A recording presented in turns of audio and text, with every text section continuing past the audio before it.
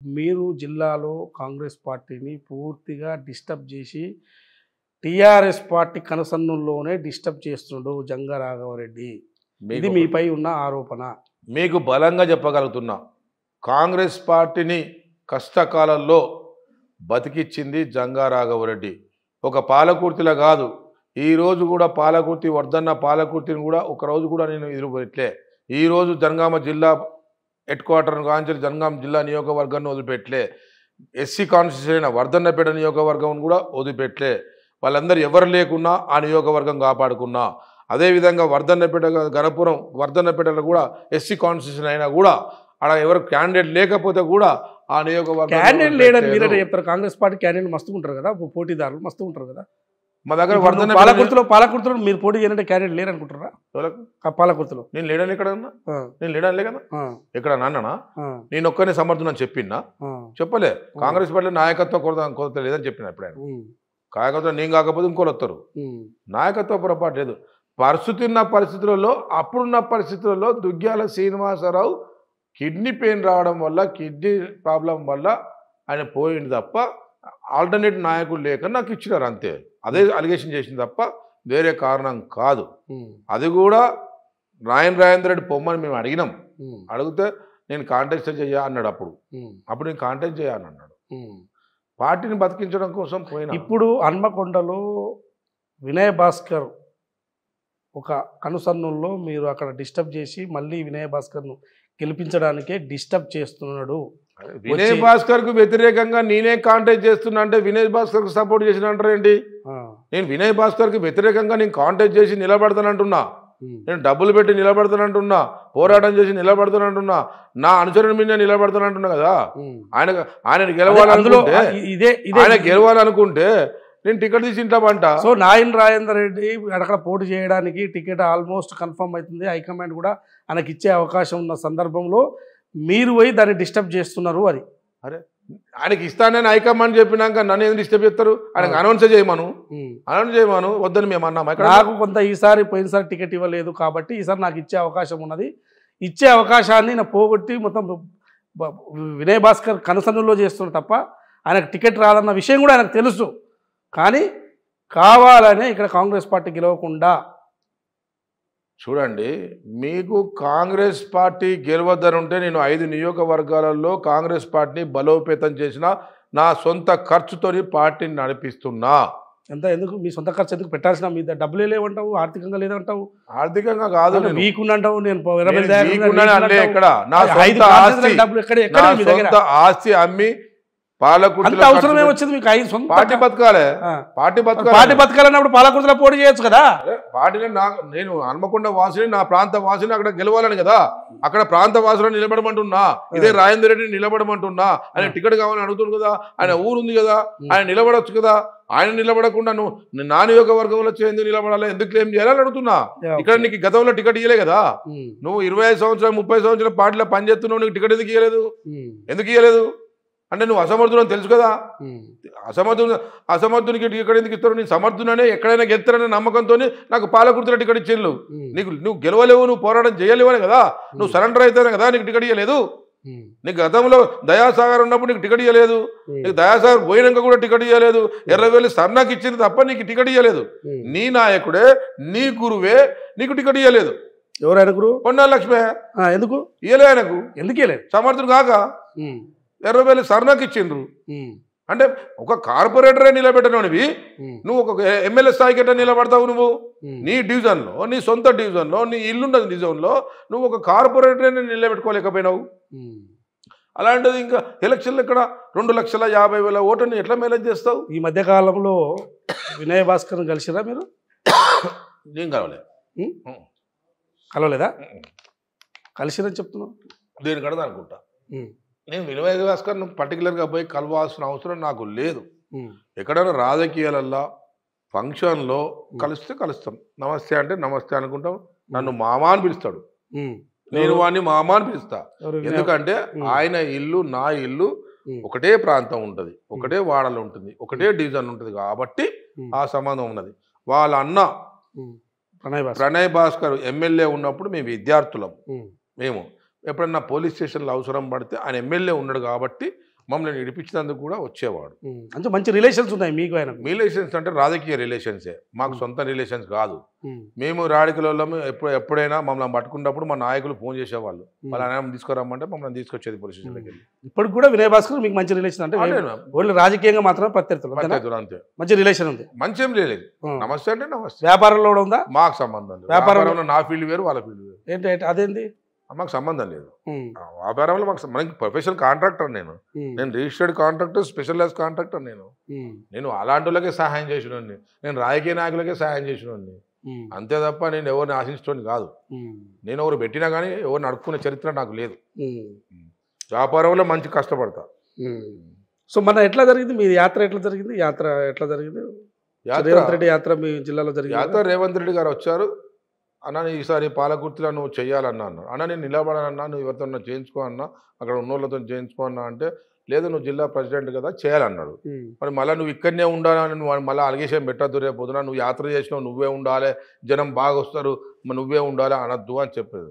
Success చేయాలి success చేస్తా plus పాదయాత్రను మంచి చేస్తా అని చెప్పిన. రాష్ట్రంలో ఎక్కలేనంత ఇరవై కిలోమీటర్ల నడిపించిన బ్రహ్మాండంగా మీటింగ్ నడిపిన ఇది పాలకుర్తిలో ఇరవై కిలోమీటర్లు నడిచారా ఆ ఇరవై కిలోమీటర్ నడిపించిన ఇరవై kilometre నడిచిండు. Success grand success grand success జనం కూడా మంచి జనం వచ్చిండ్రు. గణపురం కూడా అట్టే నడిపించిన గణపురం కూడా సక్సెస్ చేయించిన సో ఇప్పుడు మీకు కొండ కొండ మురళి గారికి ఎట్లా ఎట్లా ఉన్నది? బాగా ఫ్రెండ్ ఆయన. కొండ మురళి గారికి మీకు ఎట్లా రిలేషన్ ఫ్రెండ్ ఆయన. మాకు ఫ్రెండ్ ఆయన. ఫ్రెండేనా మీరు? ఆయన అనుచరుడా? లేదు అనుచరుడు కాదు ఫ్రెండ్ ఆయన అనుచరుడు అంటారు? లేదు కాదు. ఫ్రెండ్ ఆయన నాకు. ఎట్లా ఫ్రెండ్ మేము ఇరవై ఏళ్ళ నుంచి ఫ్రెండ్స్. అంటే ఫ్రెండ్ అంటే ఎట్లా ఫ్రెండ్ కామన్ ఫ్రెండ్ జనరల్గా క్లాస్మేటా లేకుంటే లే, లే, లే, Business నాకన్నా- friend ఆ లేకుంటే పాలిటిక్స్లో ఫ్రెండా రామకృష్ణ అని మా కాంగ్రెస్ ఆర్కే అని ఉండే. ఆర్కే వరంగల్. ఆర్కే. ఆర్కే నాకు పార్టీలో ఉద్యమంలో పరిచయం కాబట్టి ఉద్యమంలో కలిసి పనిచేసినాం కాబట్టి ఆయన క్లాస్మేట్ ఈయన. కాబట్టి ఆయన కలిపిన సంబంధం నాకు. ఆర్కే అప్పుడు అది? బాగా- రామకృష్ణ రామకృష్ణ ఎన్కౌంటర్ అయ్యండి. ఆయన కలిపిన సంబంధం నాకు అది. అంత ముందుకు నాకు సంబంధం లేదు. ఆయన పేరు కూడా చెప్పుకుని మీరు వర్క్ చేసేదంట మీరు? లేదు నాకు సంబంధం ఆయన ఉద్యమ సహచరుడు. ఎవరు ఎవరు చేసుకున్నారు? ఆయన ఉద్యమ సహచరుడు. నాకేం నేను ఆయనతో సమానంగా పోరాటం చేసినాను. ఎవరితో? రామకృష్ణ. ఆయనకన్నా కొంచెం సీనియర్ నేను. ఈ- ఈ మధ్యలో బాగానే ఉన్నారా? కొండ కొండ వారితో మీరు బాగానే ఉన్నారా? ఎట్లా?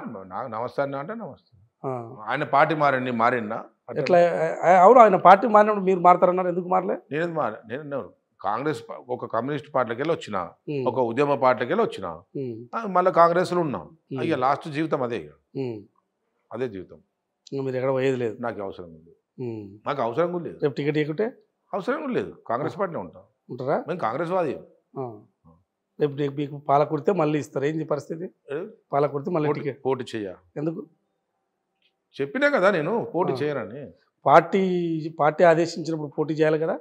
లేదు నేను పోటీ చేయలేదని చెప్పిన. నేను చెప్పిన పోటీ పార్టీ కోసం పనిచేస్తారు కదా? ఐదు నియోజకవర్గాలు చూసుకునే అరే, శక్తి- పని చేస్తా. ఐదు నియోజకవర్గాలు చూసుకునే ఎవరికైనా టికెట్. ఇస్తే పని చేస్తా. ఐదు నియోజకవర్గాల ఖర్చు పెడుతున్నారు ఇంతకు ముందే చెప్పారు ఎ- ఎవరికైతే టికెట్ ఇస్తారో నేను పని చేస్తా. అంతేగాని నేను పోయి పోటీ చేస్తానలే ఒక హన్మకొండ ఇస్తే పని చేస్తా. ఒక జనగాం ఇస్తే పోటీ చేస్తా. రెండు ఇస్తే పోటీ రెండిట్లో ఏది ఇచ్చినా పోటీ చేస్తా.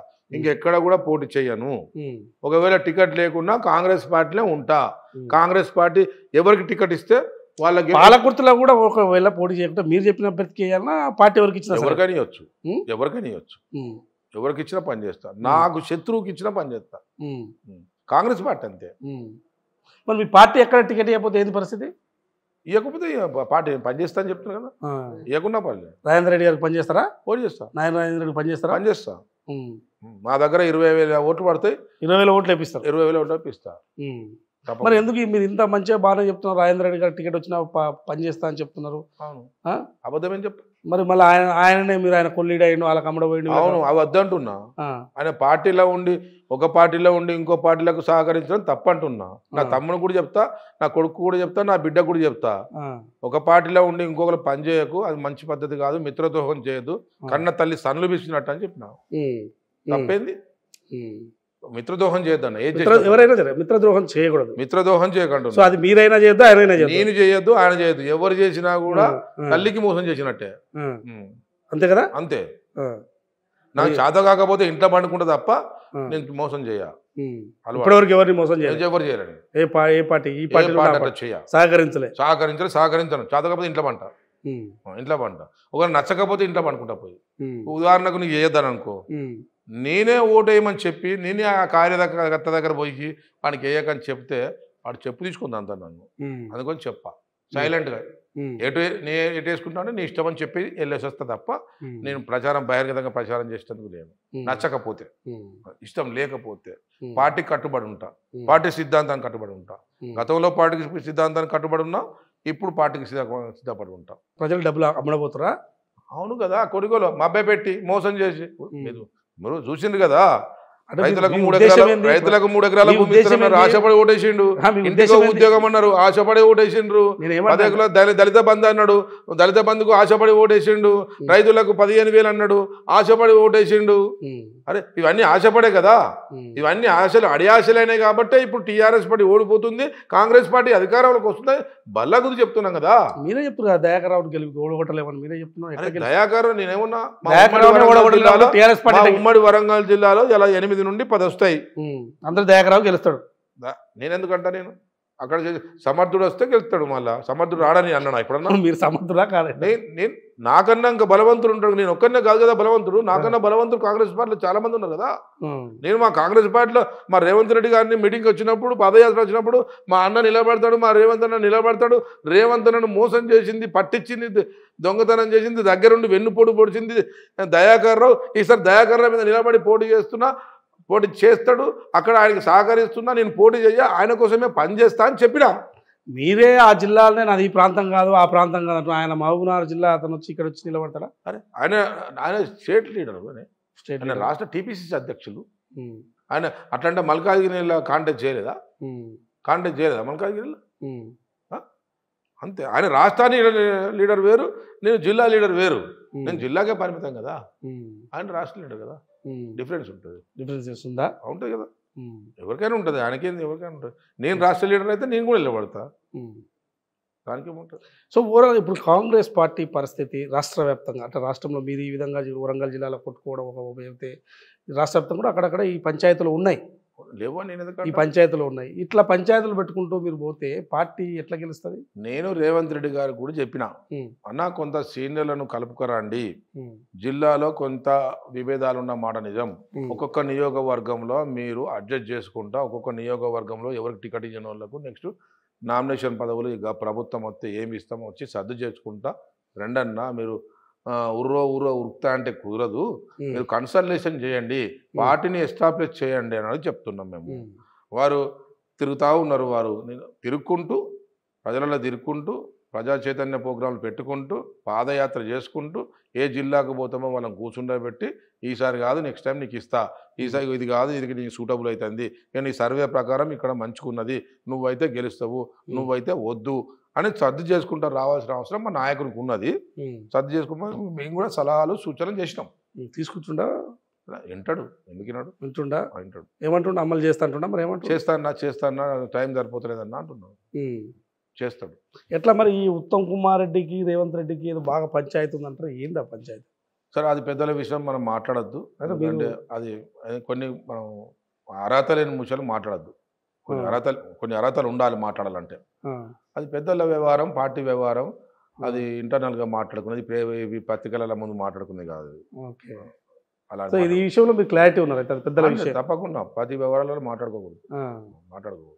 నేను కూడా మాట్లాడా ఉమ్. ఎక్కడ కూడా నేను నేను ఎక్కడైనా ప్ర- పత్రికల ముందు కనబడ్డానా? మీకు ఎప్పుడన్నా? అదే ఈ మధ్యకాలంలో బాగా కనపడుతారు కదా బాగా లేదు లేదు. ఈ మధ్యలో ఈ మధ్యకాలం బాగా మీడియా ముందుకు వచ్చి మాట్లాడుతారు కదా. నేను ఎప్పుడు కూడా నాయన మాట్లాడలే. రాజరెడ్డి అమ్మడపోయిండని లేకుంటే ఈ ఆయన అమ్మడపోయిండని. నాయన్ రాజేందర్ రెడ్డి గారు నా మీద ఒక అలిగేషన్ చేసినాడు. దానికి సమాధానం ఇచ్చాను తప్ప నేను ఎన్నడూ కూడా అలిగేషన్ చేయలేదు. నీ. అలిగేషన్ తీసుకు చేయదలుచుకుంటే నేను ఆధారాలతో చూపిస్తా బతకలేడు మావాడు అంతేనా? మరి ఎందుకు ఎందుకు చూపిస్తే? పార్టీకి party party internal party party బతకాలి. పార్టీ మా ఇంట్లో దొంగ అయిన పర్లేదు లంగ అయిన పర్లేదు మేము కాపాడుకోవాలి. పార్టీ ఇంట్లో మాట్లాడుకోవాలనే మాట్లాడలే నేను. ఇంట్లో మాట్లాడుకోవాలి కాబట్టి మాట్లాడలే ఓకే ఇప్పుడు జనగాం జిల్లా ప్రెసిడెంట్గా ఉన్నారు కదా మీరు? ఏంది జనగాం పరిస్థితి? Jangaon only Jangaon constituency Jangaon Congress party మంచుకుంటుంది వాస్తవంగా. జనగామ ఈసారి Ganapuram Jangaon hundred percent Congress party గెలుస్తుంది. ఎంతమంది ఉన్నారు ఆస్పిరెంట్స్ ఇప్పుడు? ఇప్పుడు కొమ్మూరు ప్రతాప్ రెడ్డి ఉన్నాడు రాఘవరెడ్డి అడుగుతున్నాడు పొన్నాల లక్ష్మయ్య గారు అడుగుతున్నారు. మీరు అడుగుతున్నారు? నేను కూడా అడుగుతున్నాను సో అక్కడ ఇస్తే పోటీ చేస్తారు? పోటీ చేస్తాను Mm.